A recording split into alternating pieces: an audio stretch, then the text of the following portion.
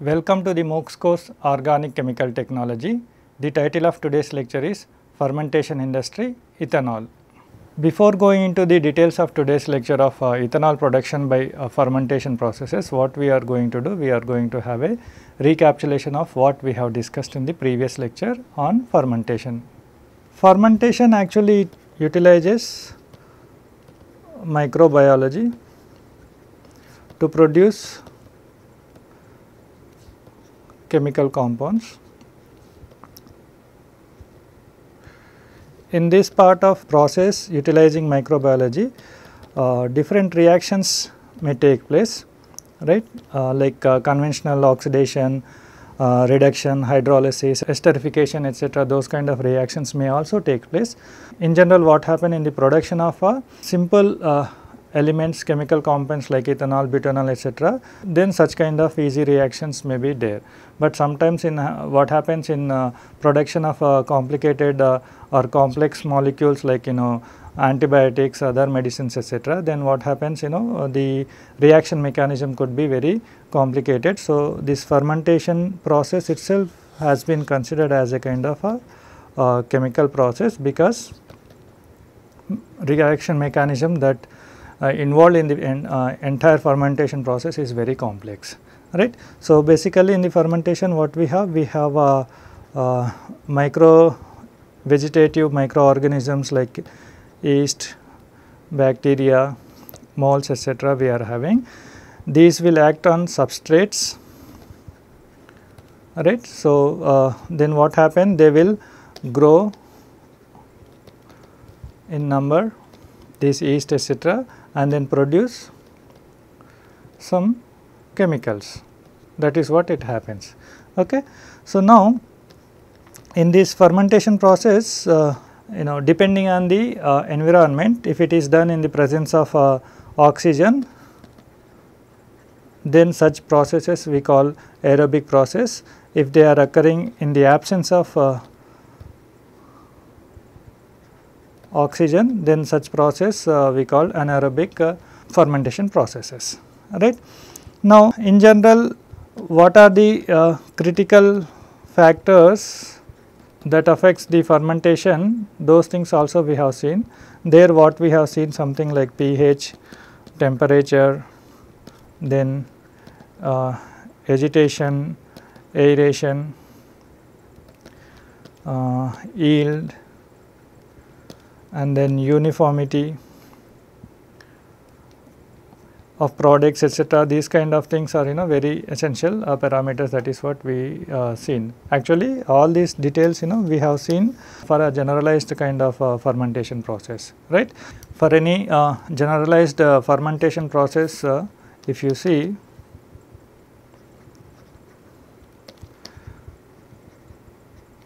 major engineering problems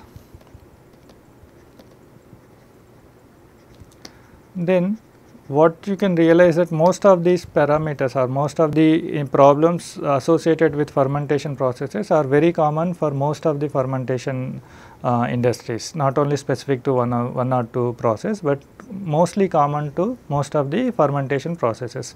That is the reason a kind of generalized engineering problems also we have discussed in the previous lecture. They include something like you know obviously whenever there is a reaction kinetics are important then uh, scale up issues would also be there. So, which factor should be taken for the scale up etc.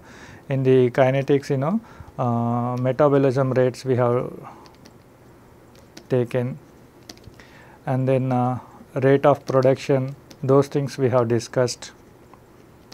In the scale of uh, issues you know what should we take as a scaling up issues we have taken like you know if you take a, a constant uh, tank H by D ratio then what will happen. So, then we have taken the uh, volumetric flow rate of air supplied per uh, volume of the liquid uh, then uh, we have taken the total volume of the uh, tank then we have taken the uh, escape velocity etc. and then when we consider all these parameters what we have seen that if you maintain constant H by D what will happen you know foaming may be severe and you may not able to control. So, that kind of problems may be there. right. So, then other issue then other way if you take like let us say if you take the constant exit velocity and then try to fix this h by d then you can have uh, then if you have you know um, then you know large diameter tanks with uh, smaller h values or smaller height values uh, tanks are preferable, but in such conditions mixing may, may not take place properly. So, that kind of issues may also be there. So, scaling up is a kind of a compromisation amongst the many parameters that are involved and then you have to make a compromisation at certain point definitely. So, then that compromisation is based on the uh, chemical that you are producing and then other uh, factors associated with the plant design etc. Then uh, other important engineering problems are uh, sterilization in which air sterilization is very essential. Media sterilization is also uh, very essential that is what we have seen not only air and media sterilization, but also sterilization of uh, uh, different parts of the plant also very essential because you know this yeast etc., are very sensitive to the impurities. If there are impurities, so then you may not get the desired product and unnecessary uh, products may take place or even the growth of the micro vegetative microorganism may also not take place properly right. Then uh, we have also seen batch versus continuous process. Though the continuous processes are uh, efficient in terms of providing the uniformity in the product yield etc., uniformity in the mixing etc., batch processes are preferred because the fermentation time that is required is very high. Some, sometimes in a few days also. In general at least 30 to 70 hours may be required when the residence time or process time is so high then it is better to go for the batch process. That is the reason though continuous process have several advantages it is better to go for the fermentation process.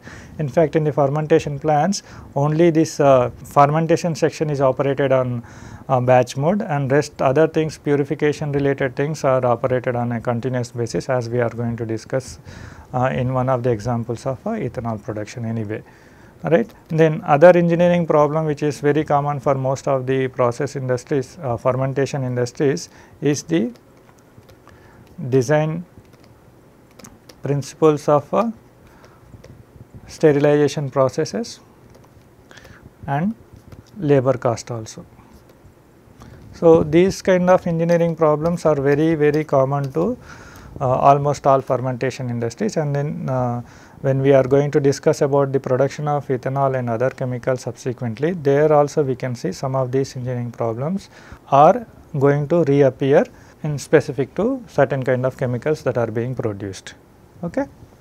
Then coming to the economics of fermentation industry, rather economics, what are the prerequisites of any fermentation industry so that to make the process or fermentation process uh, economical you know uh, one has to be careful. So, some of the parameters which are very essential from the successful fermentation operation point of view are uh, listed out here.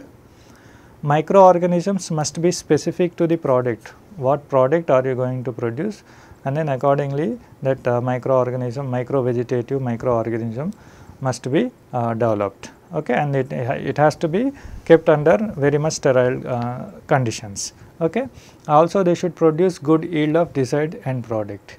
If it is a known process then this is about known process, but if you are developing some new process or new chemical you are trying to produce by fermentation process then you may also need to pay attention to some additional uh, aspects also something like you know what new strain that you are developing that new strain of microorganism can be developed to give high specificity at rapid rates and operate in high end product concentration. These things are very essential if you are developing a new fermentation process or producing a new chemical using a fermentation process. Okay. Then fermentation processes are very slow as I mentioned, uh, sometimes they take uh, days also. If you are finishing fermentation process in few hours that is a very rapid fermentation process. If you are finishing a fermentation in 2 to 5 hours or 6 hours that means it is a very rapid fermentation process. So, you have to make sure uh, the fermentation rates must be sufficiently rapid enough. In some processes at least 30 to 40 hours or 50 hours are required for the fermentation. Example that uh, ethanol that production that we are going to discuss today that at least 30 to 70 hours required for the fermentation to complete so that to get the desired product. Okay.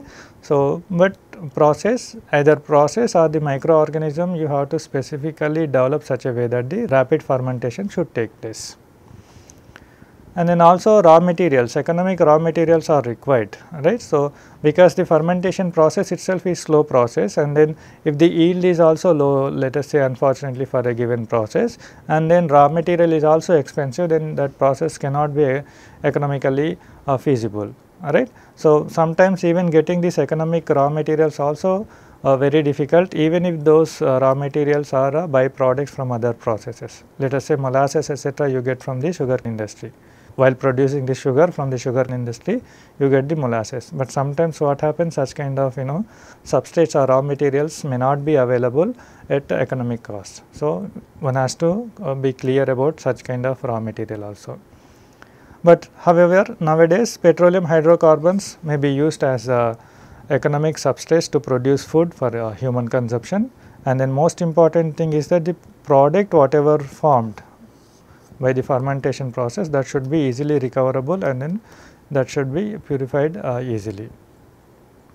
So, whatever the aspects of the raw materials and then process, chemical process and then purification steps which are very essential for any of the chemical industry, those are, are also true here in the fermentation industry. In fact, fermentation industry is also a natural product chemical industry. Okay. Now, we discuss about the uh, production of specific chemicals. In India, ethanol or ethyl alcohol and penicillin are uh, more economic uh, if they are produced by fermentation process, right. So, we start with ethyl alcohol in today's lecture. Let us start with the pertinent properties of ethanol. Molecular weight is 46.07, density is 0.791 at 20 degree centigrades, melting point is minus 112 degree centigrades, boiling point is 78.3 degree centigrades, flash point is 21 degree centigrades whereas the ignition temperature is 372 degree centigrades. It is also explosive lower limits of uh, uh, ethanol in explosives is 3.5 percent by volume whereas upper limit is 19 percent by volume. If it is present in more than uh, 1000 ppm it should be regarded as toxic okay. It should not be more than 1000 ppm in the environment if at all nearby the ethanol plants also it should not be more than that in the environment. Coming to the grades anhydrous or absolute alcohol where 100 percent ethanol is there that is one grade and then 95 percent alcohol which is also known as the industrial alcohol in general and then uh, denatured alcohol where whatever this 95 percent uh, ethanol is there in that one you can add some mild toxic components and then use for industrial applications. So, denatured uh, alcohol is in general used for the industrial applications. Ethyl alcohol primarily when it was uh, investigated it was uh, found to be very much useful if it is blended with the petroleum uh, products like gasoline etc. so that to use in transportation vehicles etc. That was primarily the major important role of ethanol uh, you know compared to the other uh, applications. But however, uh, petroleum petrochemical refineries have taken a boost after 1940s or something like that then you know use of ethyl alcohol as blend in petroleum products is almost disappeared virtually disappeared. But however, ethyl alcohol is having uh, n number of applications, some of them are shown here. It is used as an intermediate for a number of other chemical products such as synthetic rubber. It is also used as solvent. For polyethylene production it is used, portable spirits production it is used, for plastics production also it is used, acetaldehyde production also it is used, acetic acid production, butyl acetate production etc. So, many things are there. Prime use of it in blended power fuels has virtually disappeared with increased petroleum refinery capacity. Coming to the methods of production, this uh, ethanol can be produced either by the fermentation process or by the synthetic process as well or by both processes right depends on the economics one has to choose the process. Let us say under the fermentation processes we have uh, ethanol production from sucrose sub substrate like molasses whatever you get from the sucrose or sugar production plants so that you can use as substrate and then uh, do the fermentation to get the ethyl alcohol. In the subsequent chapter we are going to uh, discuss about the pulp and paper industries. There also we have something like you know waste sulphite right which is like you know containing lot of water along with the some waste sulphite cellulose etc would also be there. So, that can also be used as a substrate to produce uh, ethanol and then in previous chapter we have discussed about the production of different types of alcohols and then oils etc. from the starch and then also sugars, starch derivatives etc. we have seen. So, there we have seen that you know it is also possible to produce different type of alcohols there also ethanol can be produced using starch substrate. Okay. Coming to the petroleum processing, catalytic hydration of ethylene is one process, esterification and hydrolysis of ethylene is another process and oxidation of petroleum is another process.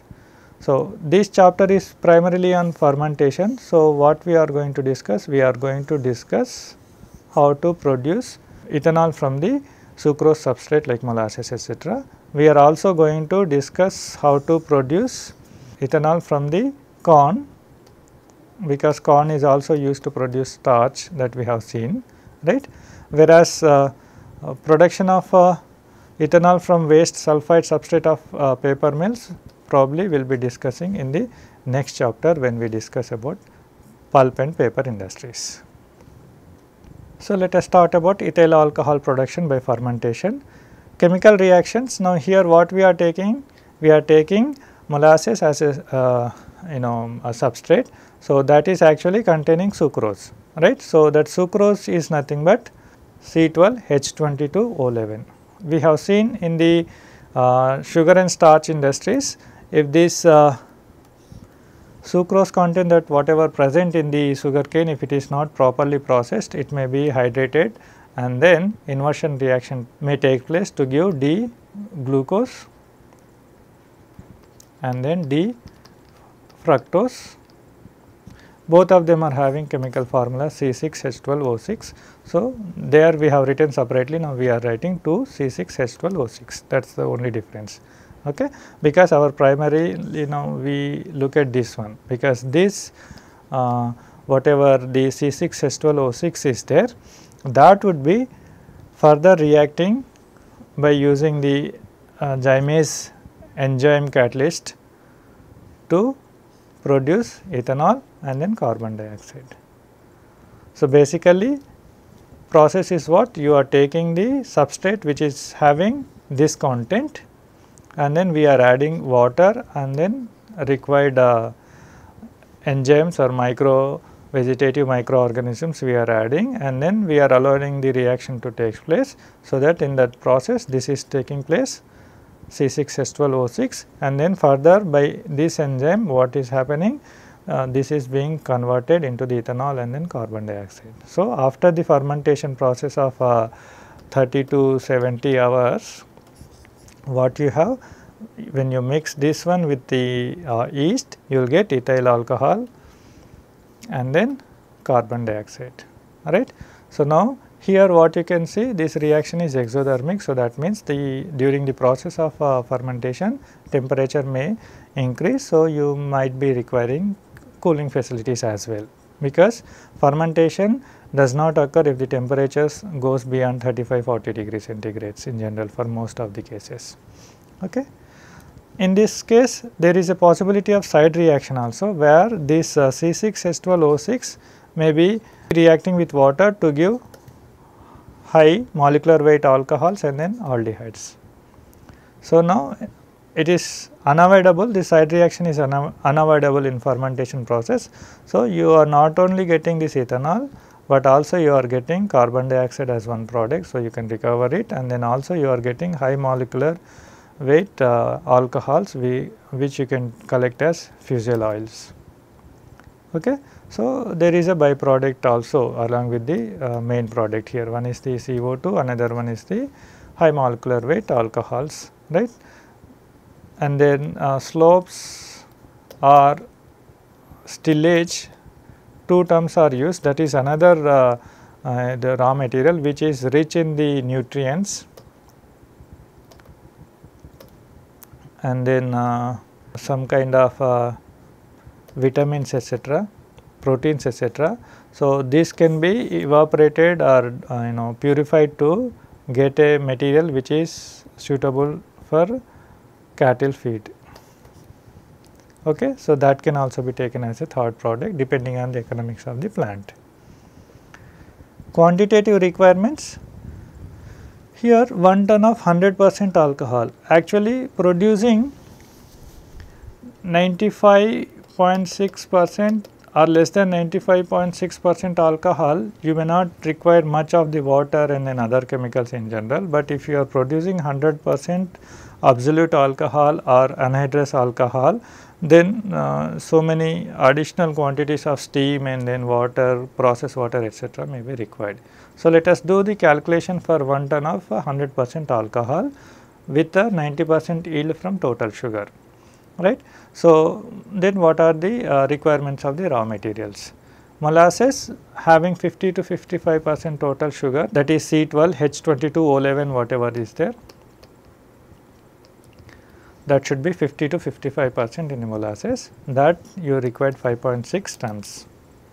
Then sulfuric acid 60 Baumé degrees 27 kgs this is nothing but approximately 93.2 percent of H2SO4. Actually uh, in the ICT course in organic chemical technology course we have discussed about this H2SO4 uh, production it is uh, acid it is uh, very difficult to control uh, parameters during the production. So, then if you wanted to measure the concentration of the acid during the production whether it is sufficient uh, you know whether it is having sufficient concentration or not. So, then what you do you measure the specific gravity. That specific gravity measurement whatever is there that is measured into the Baumé degrees. And then that if it is 60 degrees that means it is known as 93.2 percent uh, H2SO4 is there. Okay that is what this mean by Baumé degree. If you are not gone through this uh, course so then probably you can see such videos on sulfuric acid presented in the inorganic chemical technology course of uh, uh, NPTEL modules. Then ammonium sulphate 2.5 kgs this is uh, required in case if you uh, have to add some kind of nutrients to the substrate or the yeast or whatever the microorganisms that you have taken. For that if it is required to provide sometimes energy food. So, then some nutrients may be required. So, under such conditions these things may be required. Coal 0.7 to 1.5 tons, process water 12 tons, cooling water 50 tons, electricity 35 kilowatt hour, byproducts CO2 you can get up to 0.76 tons whereas the residual cattle feed or fertilizer 0.2 to 0.6 tons. This is coming from where? This is coming from the slopes or stillage from the bottom of uh, uh, beer uh, distillation column that we are going to see. So, this if you purify then whatever things that you get that is nothing but uh, you know fertilizer or that can be used as a cattle feed. Then fusel oil which is nothing but higher molecular weight alcohols mixture that can also be taken as a byproduct. Capacity is in general 10 to 100 tons per day of ethyl alcohol. Now, uh, we see the flow chart for the ethyl alcohol production from the molasses. Okay. So, here in this uh, flow chart some symbols H, C and then P are there. H stands for the preheat exchangers, C stands for the total condense or condenser P stands for the partial condense or partial condenser uh, which is also known as the dephlegmator. Okay. So, now here what happens the molasses that you have taken that you take to the molasses storage then you dilute it in a continuous diluter.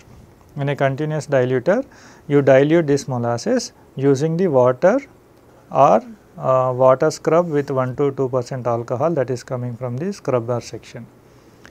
why this dilution is required when you do the dilution of this uh, molasses then when it interacts with the yeast in the fermentation tanks it will help the growth of a yeast that is the reason the dilution is required. Okay. Now, this diluted molasses whatever is there that you take to the fermentation tank along with the nutrients etc., if required right. Whereas, separately what you have you have the yeast culture tank in which you take the yeast and into this also you can add the nutrients if required. Sometimes what happens the whatever the molasses is there that would be sterilized by molasses sterilizer and then that sterilized molasses is also added to the yeast tank. The purpose is again is to maintain the uh, sterilized conditions in the yeast culture as well as the allowing the molasses will will improve the growth of the yeast etc. That is the for that is also one purpose, but it should be this molasses should be sterilized one right. So, that yeast you take to the uh, yeast storage tank. So, if you are adding because sterilization of the media as well as the air etc. are required as a common engineering problem of uh, fermentation industry that is what we have seen. So, here uh, if you are doing sterilization so then some kind of heat may be evolving so that heat has to be removed by the water right. So, that uh, yeast you can take to the yeast storage. Now, this yeast and then uh, whatever the diluted molasses along with the nutrients may be taken to the fermentation tank right. So, some of the diluted uh, molasses may also be taken to the molasses sterilizer. It can be directly molasses can be taken or diluted uh, molasses can be taken to the mo molasses sterilizer uh, for the sterilization purpose as per the requirement. It depends how much sterilization is required for the given process right. So, now here in the fermentation tank the reaction takes place for about 30 to 70 hours. So, the temperature should be maintained between 20 to 30 degree centigrades for that you know cooling is required. At the end of the reaction maybe around after 60 hours or 65 hours temperature may even go up to 35 degree centigrades also, but it should not be allowed to go beyond 35 degree centigrades otherwise fermentation may not take place.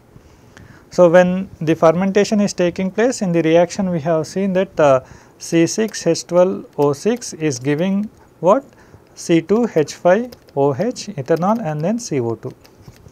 When side reaction is occurring, so some kind of uh, you know alcohols and then aldehydes also forming that is what we have seen by the side reaction.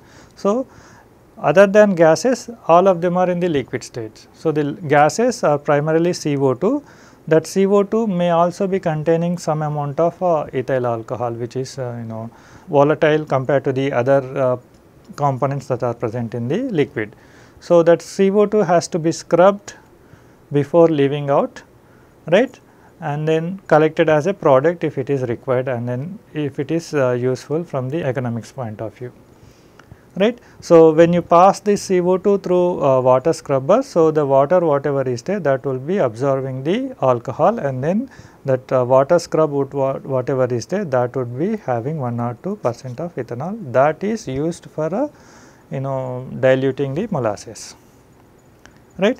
Whereas, the liquid that is there uh, in the fermentation tank after the completion of the fermentation that would be passed through a preheat exchanger and then uh, after passing another preheat exchanger that will be taken to the beer still because it is primarily having alcohols, aldehydes and then water only now. Alright, so now here in this beer still the concentration of the beer would be increased to 50 to 60 percent and then that would be taken to the aldehyde section. Before going to the aldehyde section that would be passed through a partial condenser. Partial condenser purpose of this partial condenser is that you know it will condense the vapors only to the little bit only or uh, only uh, some amount of vapors would be condensed and then whatever the condensed vapors are there they will be fed back to the distillation column. Uh, still we are writing still but they are all distillation columns. Column or still whatever written here all of them are distillation column.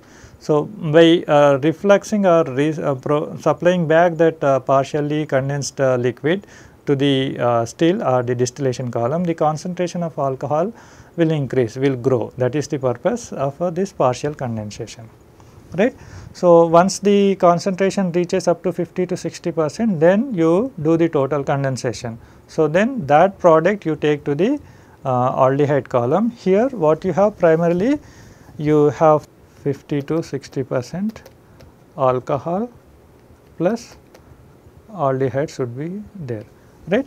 So, this uh, mixture would be taken to the aldehyde and then here again the same distillation process would be done right. So, aldehydes uh, would be the uh, more volatile here. So, they will be more evaporating more or you know they would be present more in the top product. That top product again passed through a partial condenser and then whatever partially condensed vapors are there they will be fed back to the column so that to improve the concentration of aldehyde and then once the aldehyde concentration reaches maximum in the aldehyde column they would be condensed in a total condenser and then collected as a aldehyde products. Okay. Whereas, uh, from the side stream of the aldehyde column whatever the higher alcohols and then uh, ethanol etc are there they would be collected of course there should be there would be some water also.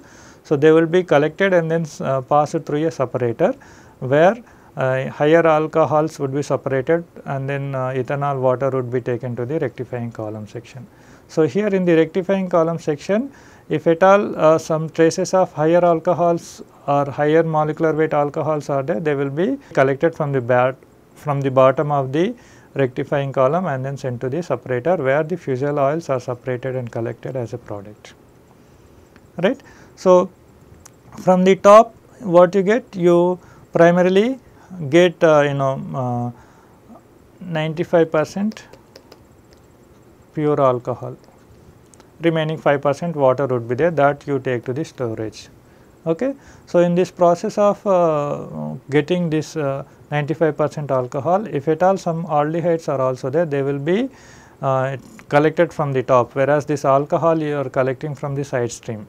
Okay. From the top whatever you are getting those would be partially condensed and then refluxed and then after the concentration becomes sufficiently higher then they will be sent to a total condenser and then that will be sent back to the aldehydes because these are primarily having aldehydes impure aldehydes they are present in the mixture of uh, you know alcohol higher molecular weight alcohols and water.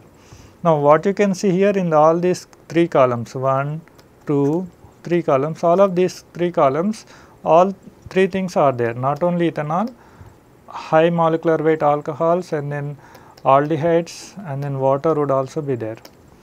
But the percentages point of view most of the aldehyde is removed in the second one. Right and then most of the higher molecular weights are removed uh, in the separator and then rectified sections like that. Okay? Some after that only primarily ethanol and then water would be there, they will be taken to the storage. This will be having only 95 percent ethanol because beyond this one uh, you know you cannot separate because of a constant boiling mixture or azeotrope formation takes place when the ethanol concentration is around 95.6 percent by volume and then remaining is water by volume. When the constant boiling mixture or azeotrope forms, the separation is not possible conventionally. Separate routes are there that we are going to do. So, that is the reason the distillation stops or the top product is collected at 95 percent alcohol. All these columns are distillation column different trays are there actually you know. So, the feeding to which tray the feed has to come, to which tray the reflux has to come, from which tray the side stream has to be collected. All these engineering calculations or design calculations are part of uh, you know other course like you know mass transfer operations too. Usually mass transfer operation course is divided in two parts. In the second part you discuss on this distillation. So, we are not going into those parts.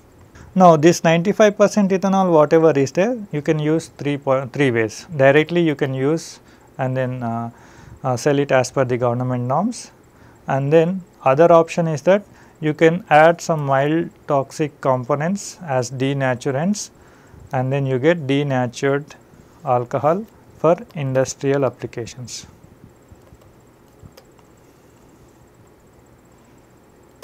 Right. Other option is that See now 3 options are there, 1 option, 2 option and then this is the third option.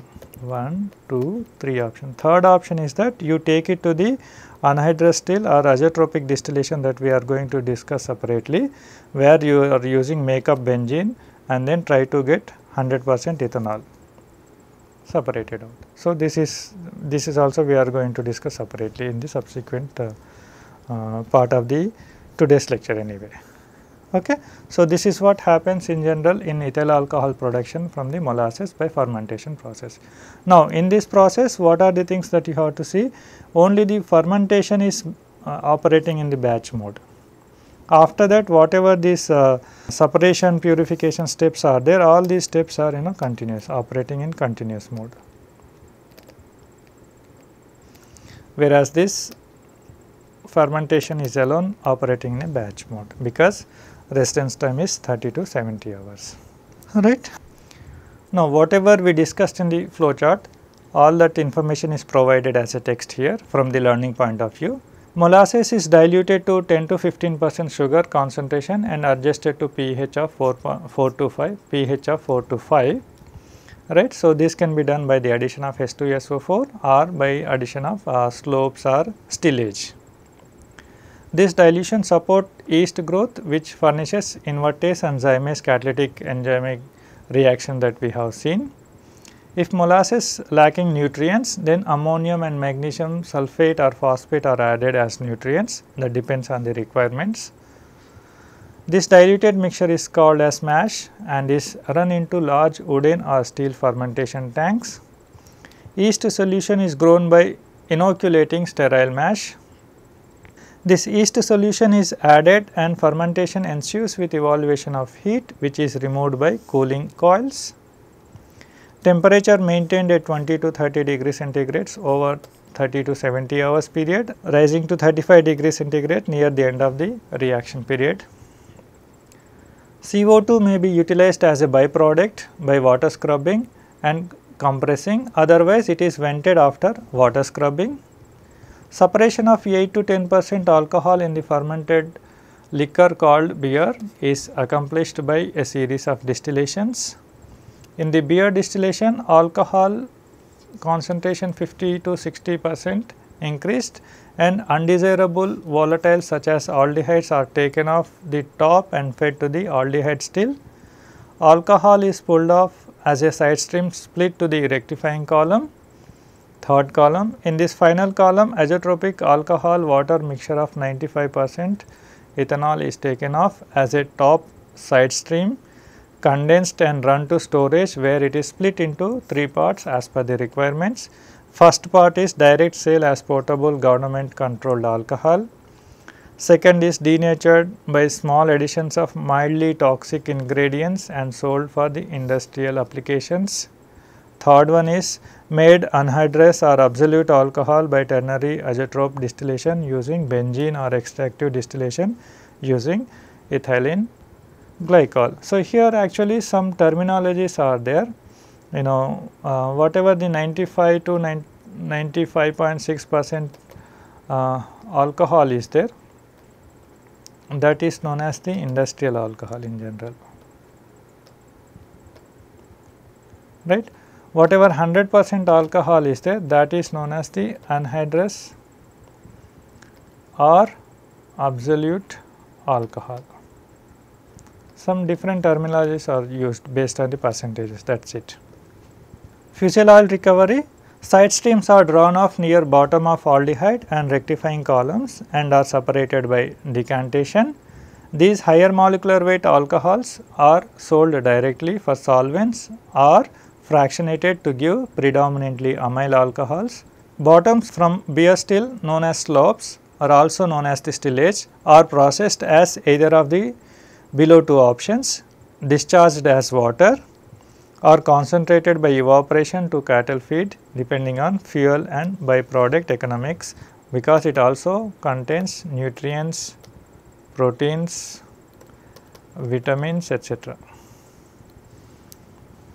Major engineering problems first is collection and storage of molasses. molasses you know collection and storage because of that one you know con its composition may be changing because on storage also it may be undergoing some natural fermentation kind of thing. Also if it is stored for a long time it smells very badly that it is uh, it may causing you know problem to the surrounding. So collection and storage of molasses is a problem.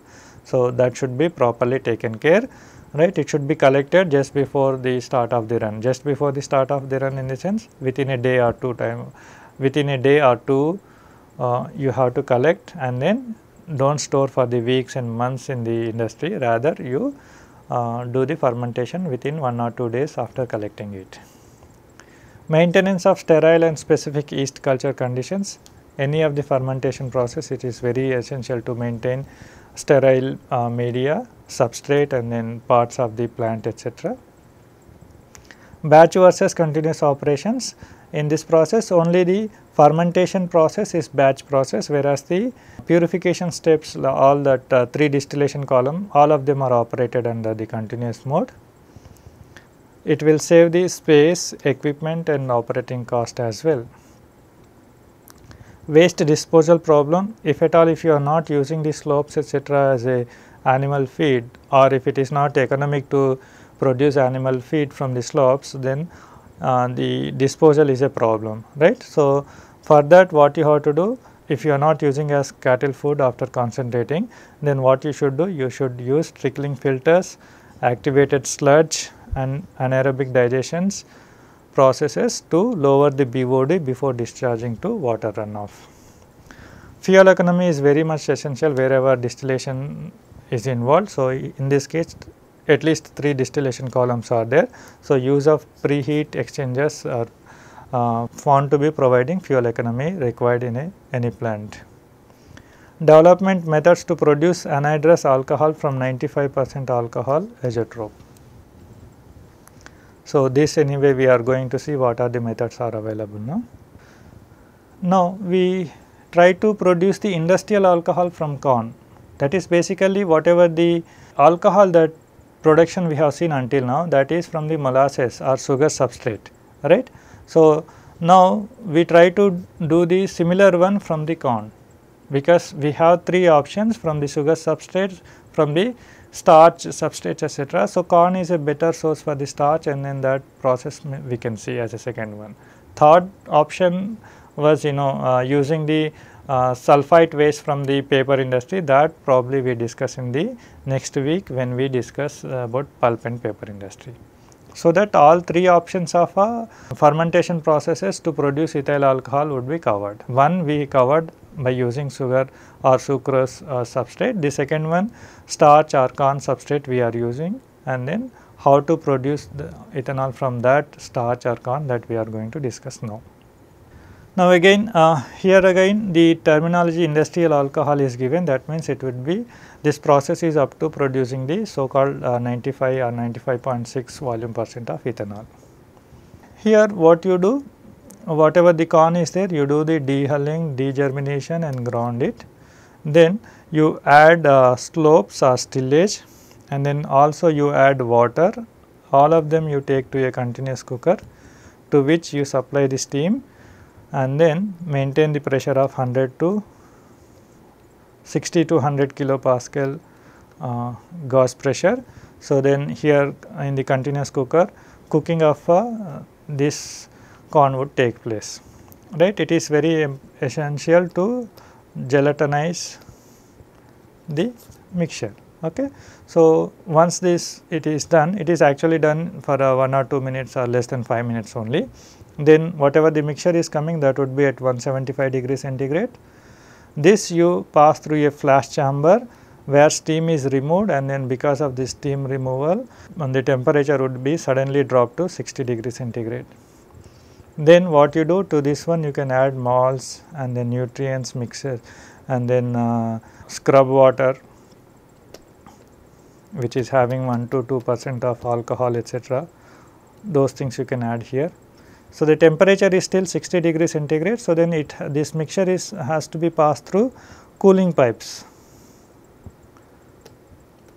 Cooling pipes it has to pass through cooling pipe because now this line is going to the fermenter. In the fermentation section temperature should not be more than 32 to 35 degree centigrades. But after this mixing the whatever the mixture is there that is approximately 60 degree centigrades. So, when it passes through the cooling pipe not only the temperature decreases, but also you know uh, the starch, dextrins etc., would be produced from the corn or gelatinized corn mixture whatever you are getting right. So, this you take it to the fermenter you can take directly uh, to the fermenter or you can do some kind of sterilization if required uh, sterilizing the substrate media sub uh, sterilization. Then separately in the yeast tub you are producing the yeast that should also be sterilized if required and then this yeast can be taken to the fermenter. So, this, this can be done either way it can be taken directly or it can be you know mixed with the uh, culture and then uh, or it could be mixed with the uh, you know this mixture corn starch mixture and then that should be taken to a fermenter. So, this yeast and then whatever the mash or the mixture after adding the malt etc., all that at around 20 to 30 degree centigrades or less than that temperature are added to the fermenter either individually or mixed before and then sent to the fermenter. In the fermenter reaction takes place about 30 to 70 hours temperature try to maintain less than 32 degree centigrade. Now here again after this process everything is same you get the CO2 and then liquids. CO2 you scrub with water to recover if at all some ethanol is being carried by the CO2 gases. So, that scrub water you recycle to the mixer, the scrub water. Whereas CO2 that you get, you get as a kind of product, use it as a product or release in the atmosphere after checking its concentration etc. This liquid then you send it to the beer still, then uh, aldehyde uh, section, then rectifying section etc which is similar to the previous process where you know uh, ethanol produced from molasses. So, exactly the same thing first you take to the beer uh, section where you try to increase the concentration to the 50 to 60 percent of uh, alcohol remaining are aldehydes etc. These aldehydes would be separated out in the aldehyde section and then collected as product whereas the after removing the aldehydes primarily you are having the fusel oil and then alcohol only. Fusel oil that is nothing but high molecular weight alcohols and then ethanol water mixture are there that will be taken to the rectifying column where water you take it as a bottom product right. From the top product you can take uh, you know ethyl alcohol after uh, condensation whereas from the side stream you can uh, get back uh, you know so called stream which is rich in the high molecular weight uh, alcohols they would be again separated in a separator and then you get a fusel oil. So, all these processes are similar the purification steps are similar like previous one. Here again this H stands for the preheat exchanger, D stands for dephlegmator or partial condenser, C stands for the total condenser. So, whatever process that is shown in the flow chart the same is presented here uh, from the learning point of view. Either in wet or dry conditions, corn is degerminated, dehulled and milled. This milled corn is sent to either batch or continuous cooker which operate under pressure. Time in the cooker is about 1.5 minutes and pressure maintained at 60 to 100 kilopascal gas pressure.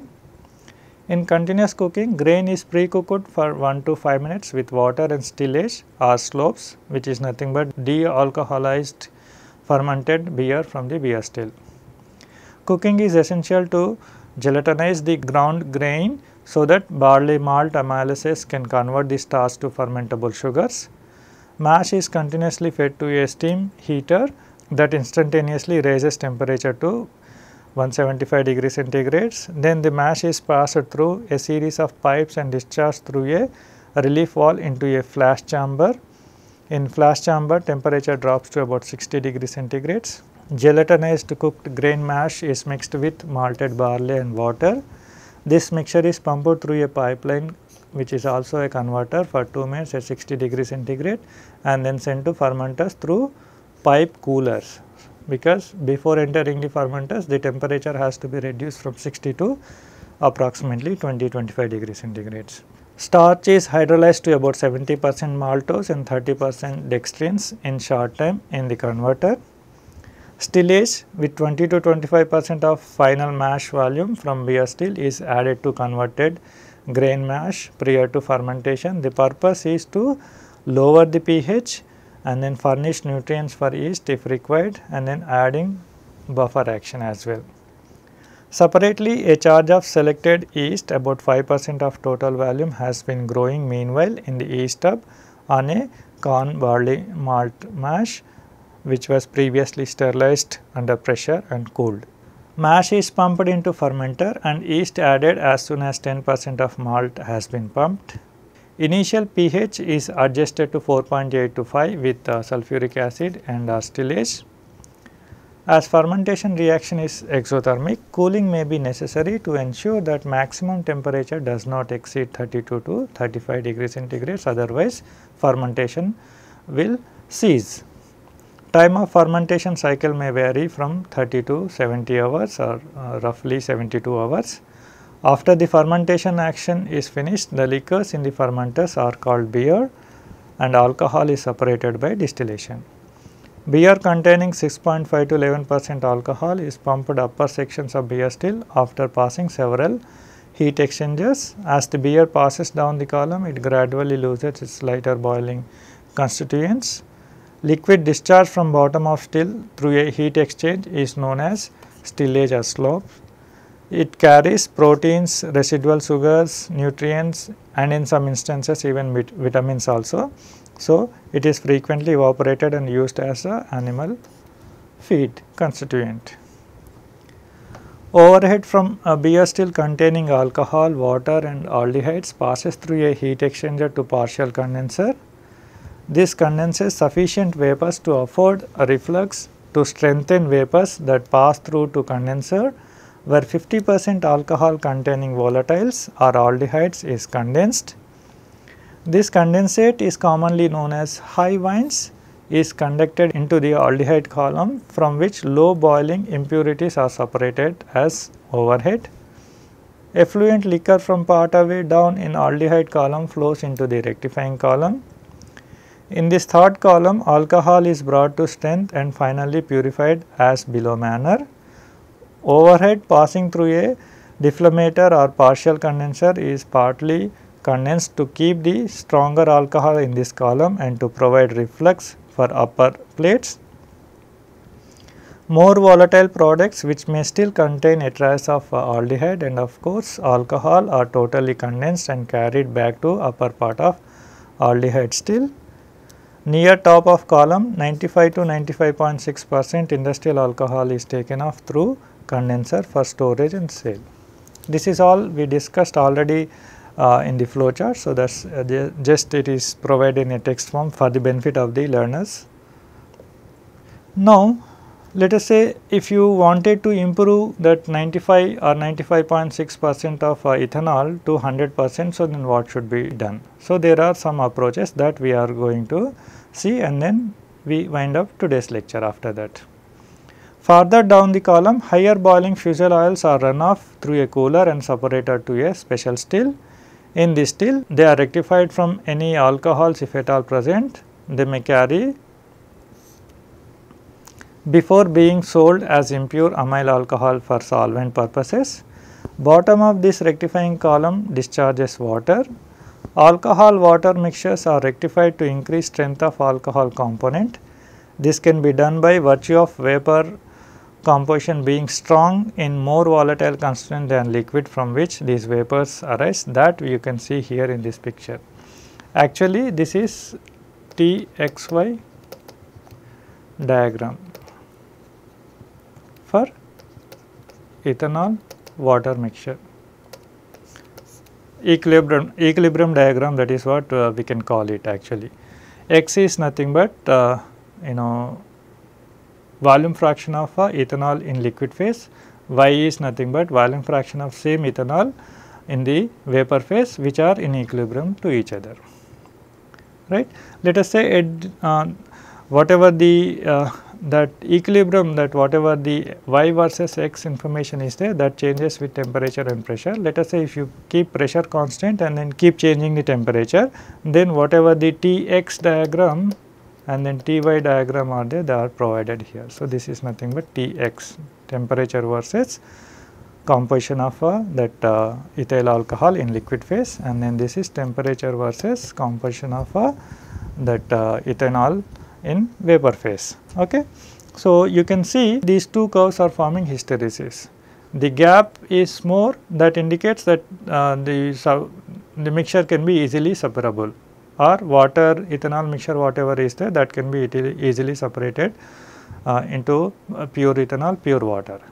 If the hysteresis is very thin and then gap is very less then separation would be very difficult that is what uh, uh, this hysteresis uh, loop indicates okay, between this Tx and Ty diagram. So, such things you learn in the mass transfer course where you talk about distillation and then etc. those kind of things. However, some information is provided here.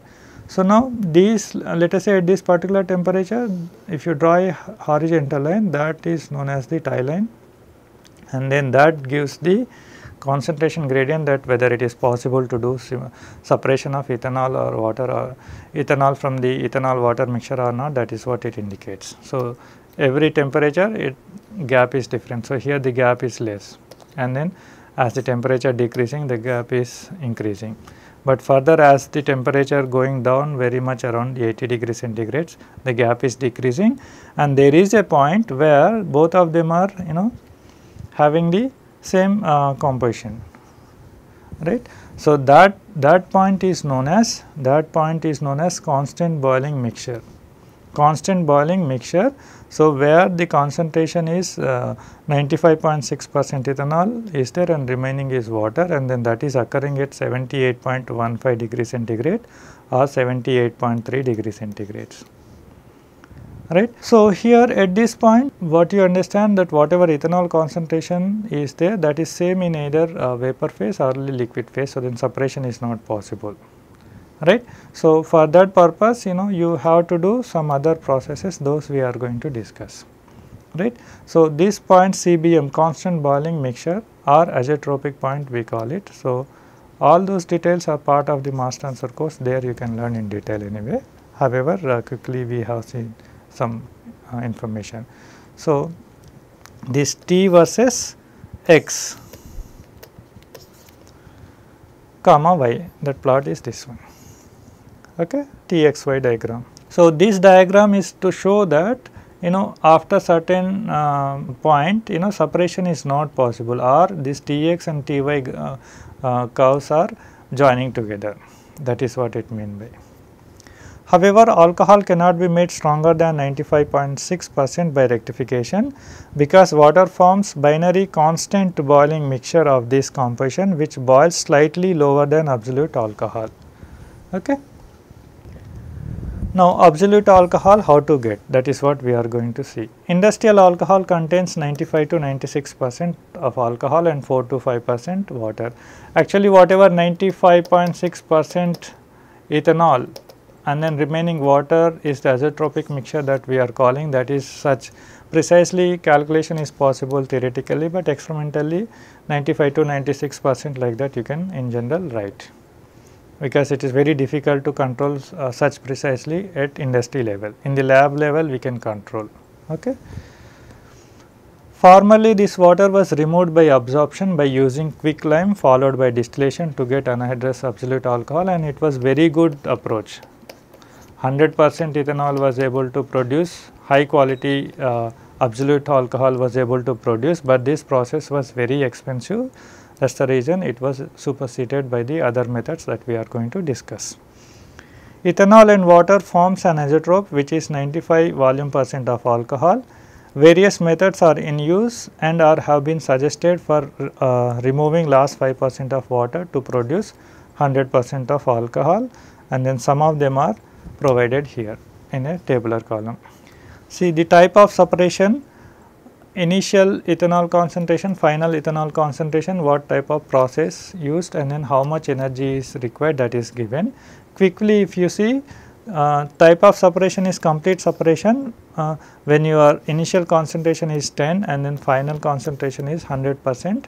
Then so many processes are there conventional dual distillation, extraction with CO2, solvent extraction, vacuum distillation are there and then their energy calculations are uh, slightly different from each other right.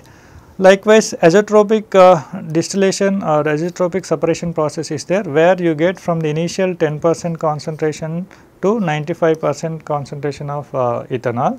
For this conventional distillation, vapor recompression, multi-effect vacuum distillations are possible. Here also the energies are different. But azeotrope separation where from 95 initial concentration to 100 percent final concentration of ethanol if you want to produce, the process like conventional azeotropic distillation, dehydration via adsorption using lime as drying medium and then low temperature blending with gasoline to get gasohol. This was conventionally followed long back when the primary application of ethanol was to blend uh, with the petroleum products and then uh, recent development of molecular sieves etc. also used right. So, what we do now we discuss this conventional azeotrope distillation process. Okay. There are also some process like reverse osmosis where initial concentration may be 3 and then final concentration up to 10 percent you can get, but this is not required anyway for us. Now, oldest method is distillation of 95 percent azeotrope using a third component benzene. This method forms a minimum constant boiling mixture boiling at 64.85 degree centigrade. This temperature is lower than a water alcohol azeotrope for which temperature is 78.3 degree centigrade. Now, the thing is that benzene you are adding to disturb the azeotropic composition primarily that is the purpose of adding this third component right. But how much should it be added that is again the question. In order to understand that one what should be the composition of the benzene that should be initially added for that purpose uh, how to do calculation that we are going to see. Let us say if you use benzene as third component following phases uh, may form as shown in the figure like uh, 3 binary minimum constant boiling mixtures, 2 homogeneous uh, mixtures and then uh, 1 heterogeneous uh, phase and then one ternary phase. The equilibrium composition of uh, this mixture of uh, ethanol, water and benzene because initially 95 percent ethanol is there, 5 percent water is there. To this one you are adding benzene to disturb the azeotrope formation so that you can easily separate 100 percent ethanol. Maybe water going with the benzene or water also be covered uh, recovered uh, purely so that is also good. So, but how much benzene should be added? Let us say these things also you study in mass transfer especially in the liquid liquid equilibrium calculations. These are very important part, but we are not going into the details of all those things. Primarily uh, this diagram talks about the equilibrium concentrations of th three components, three component mixtures right. So, when you add benzene to the ethanol water azeotropic mixtures, so then uh, two liquid phases may be forming, one liquid phase may be forming and then there is a ternary phase also forming. So, the ternary phase composition is F indicated by F here. So, actually when you draw this one what happens you get an envelope like this. This is the equilibrium curve like Tx Ty diagram previously we have seen. Now, here whatever the three component their equilibrium composition if you draw in this triangular diagram. So, then you get envelope this like this below which you get the two liquid phases above which you get single liquid phases. Towards this corner you get the water rich phase, towards this corner you get the benzene rich, uh, rich phase and then towards this one you get the ethanol rich phase. Those things are uh, different and that is what is mean by 3 binary minimum constant boiling mixtures etc. So, now the problem is that you have to know how much C6H6 benzene should be added so that to disturb that one. So, for this there is a technique actually you know this ternary component mixture F from this point you join this line to C point where the pure ethanol is there here. Whereas, from the benzene here this benzene point is there from this benzene point to this equilibrium curve whatever to this envelope or equilibrium curve is there to that one you draw a tangent like this. That tangent if you draw like this you get this BE line and then that uh, CF line two lines are there now actually. So, actually initial concentration whatever that uh, or initial benzene whatever you supposed to add that composition should be falling on CF line, but this CF line is not one point. So, which one should be the more economical that you have to find out. For that purpose this EB line uh, or BE line is uh, formed by drawing a tangent to this equilibrium curve at uh, B point that is forming B. Wherever they are intersecting that point gives you the that point gives you the point of uh, benzene composition. So, that point whatever is there corresponding to that point whatever the benzene composition is there that should be that much amount minimum has to be added to the ethanol water mixture to get uh, or to the disturb or to disturb the ethanol water azeotropic composition. Ternary mixture is lower boiling composition in the system boiling at 64.85 degrees centigrade point F that shown in the picture. Starting composition of mixture must lie on straight line CF to ensure that removal of constant boiling mixture will leave anhydrous alcohol in the still. For this purpose only this calculation is required whatever I have discussed in the previous slide. If starting mixture is made up by adding benzene to 95 percent alcohol, starting composition must also lie along the line BE or EB. Thus, intersection point G represents the starting composition.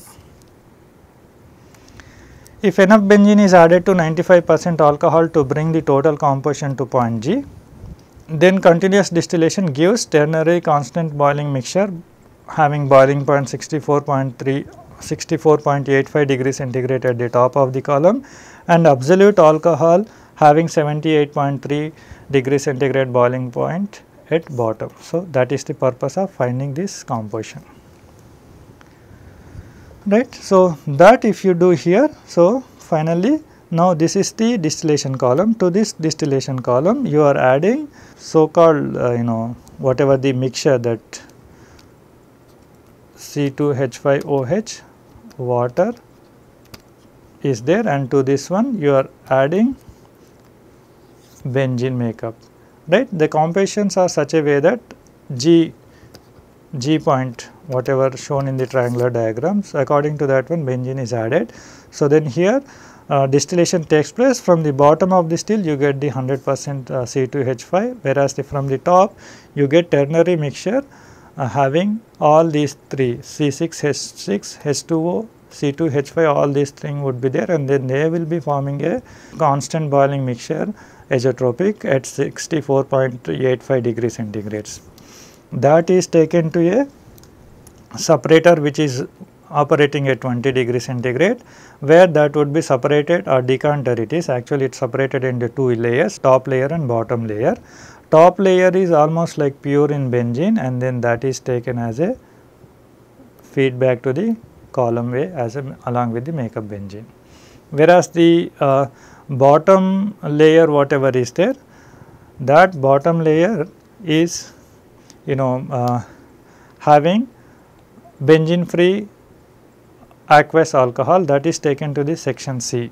Here aqueous alcohol is collected from the bottom and then that aqueous alcohol is uh, by conventional uh, distillation separated into the pure water and then whatever the 95 or 96 percent of ethanol as the top product. That top product is again fed back to the this uh, you know section A as a recycle. So, here bottom pure ethanol you are getting, here pure water you are getting, right.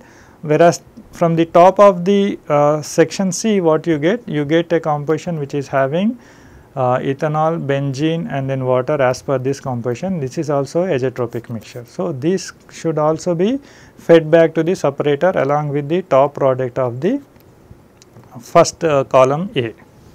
Okay. So, this is how you get the anhydrous or uh, dehydrated ethanol without water. Quickly if you see the points, in this process dehydration of 96 percent ethanol to absolute alcohol by azeotrope distillation with benzene occurs at 101 kilopascals. In the flow chart column A has 95 percent alcohol fed into it and benzene is introduced. Ternary azeotrope is taken overhead in this column and absolute alcohol is obtained as a bottoms in the column A right. Overhead vapors are condensed and passed to a decanter or separator B which is operating at 20 degree centigrade in which two liquid layers forms. Upper layer rich in benzene is returned to column A as reflux whereas the lower layer is fed to column C which produces a ternary azeotrope as overhead product and benzene free aqueous alcohol as bottom product. This bottom product is fed to column D in this column D, it produces an overhead product of 95 percent alcohol which, which is again azeotropic mixture and then that is sent back to column A as a uh, recycle. Bottoms products of column D are nearly pure water and this in the column D ordinary distillation is taking place. Benzene is recycled continuously in the system and it is necessary only to make up the benzene losses from the system. This withdrawing agent is used over and over again with a loss that should not exceed 0.5 percent of volume of anhydrous alcohol produced. So, this is all about the alcohol and then uh, anhydrous alcohol production process right alcohol is produced by the fermentation process and then whatever the azeotropic mixture that you get between water and alcohol that has been further processed uh, by you know extractive distillation to get uh, anhydrous or absolute alcohol having 100 percent ethanol only. References for this lecture are provided here.